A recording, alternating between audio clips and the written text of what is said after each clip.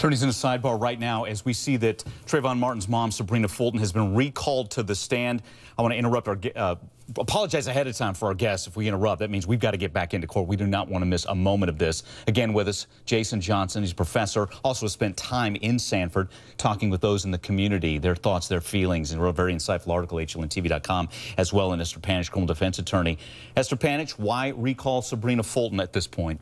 I'm not exactly sure. It's an interesting uh, it's, it's an interesting development to call a witness back before rebuttal. So usually you recall your witnesses after something the defense has done or said to mitigate what they or rehabilitate your witness. So I'm not exactly sure why they're calling her.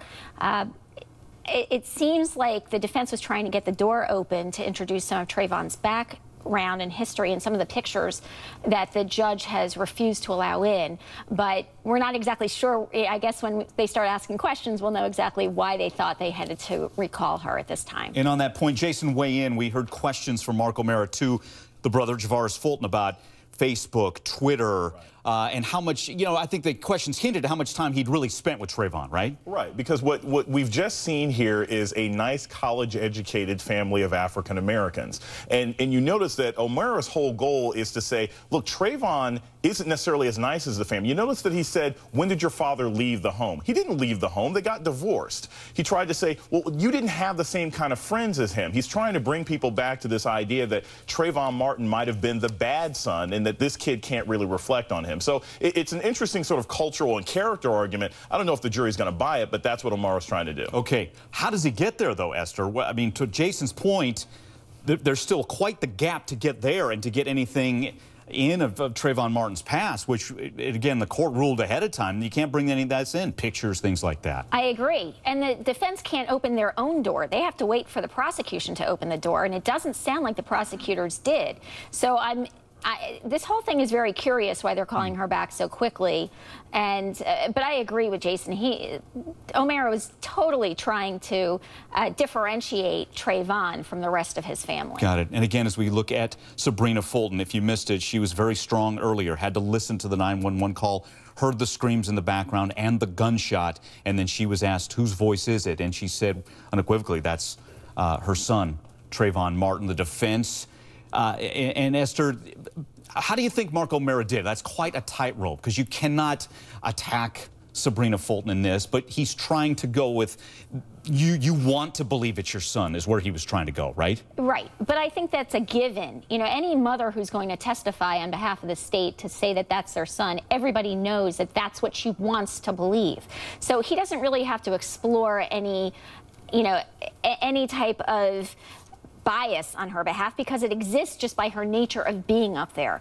Uh, and, and he, he does have to walk a tightrope. You cannot attack the victim's mother, who is herself a victim of this crime. So, you know, he, he is trying to do a, a, as good a job as he can to protect the interests of his client and at the same time not alienate the jury. Mm -hmm. Jason, how, how do you think Mark O'Mara did on that front? Walk that tightrope. Did you find it jarring at all? Did he cross a line or did he just do what he had to do to try and represent his client, George Zimmerman. Yeah, the, the whole sort of scheduling of this doesn't make any sense. I thought O'Mara, who's been great throughout this case, I think this was terrible. Uh, I, I, think, look, you're trying to, to massage the victim's mother into saying, I was coached to say it was my son. That's where he was trying to go, and, and that doesn't make any sense. And, and I think, again, from a character standpoint, if I were the prosecution, the prosecution should have probably brought up Sybrina Fulton and the brother earlier in the trial to sort mm. of hmm. set the precedent for who Trayvon Martin was, because we're just now hearing that he's from this kind of family. I think they probably should have brought this up sooner. Interesting. Uh, again, as you talk about where we're heading with this trial,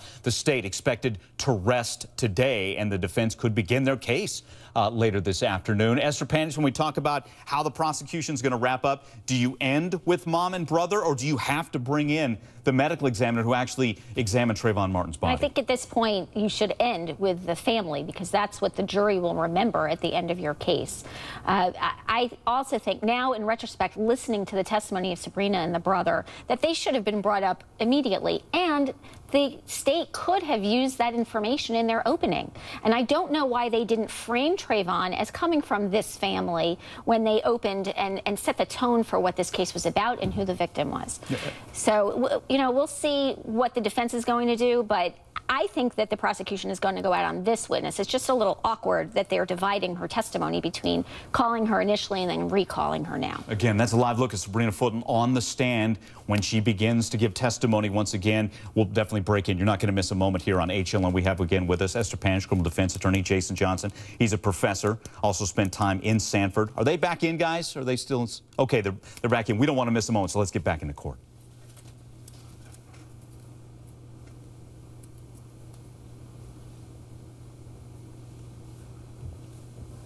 Okay, we're still waiting for the microphones uh, to be turned on. And, uh, and I'm sure Esther and Jason will both agree and both have said it. We're, we're, not, we haven't heard the last of the 911 call. The defense, when they begin their case, and at some point they'll play the 911 call, and one of the family members of George Zimmerman likely to testify and say that's George Zimmerman's voice. But again, for background, uh, and Esther, correct me if I go astray, we had the FBI audio expert Hirotaka Nakasone basically say they couldn't decipher who it was. But he was able, or at least the prosecution was able through him to say voice familiarity, someone who knows the person screaming, they can testify. And, and then following that, the defense said, well, there could be listener bias. So we've seen basically those arguments play out today, right? That's right. That's exactly right. This is exactly what the expert was talking about. The mom wants to know that it's her son. It's important that it's her son. We wouldn't be in this courtroom if it wasn't her son's voice on screaming, help me, help me. Uh, at the same time, you're going to have George Zimmerman's parents saying uh, pro probably the same thing. That's my son. I know my son's voice. Of course, each side has a reason that they need to believe that it's their son. And I firmly believe that they believe it's their son on each side telling the truth. I believe they're telling the truth. I believe they want to believe that. But that is what the listener bias is that the expert warned us about. Got it. Okay. Again, we, uh, as we see Sybrina Fulton on the stand, there was a tweet from Sybrina Fulton. Uh, uh guys, do we have that? And we can read it for our viewers. Day 19, I pray that God gives me strength to properly represent my angel Trayvon. And again, regardless, and it goes on to say, he may not be perfect, but he's mine. I plead the blood of Jesus for healing. Again, that from Sybrina Fulton. And she is going to, again, testify. She's been recalled to the stand. We want to hit a break, guys? Okay, we're going to take a quick break. If she begins to testify,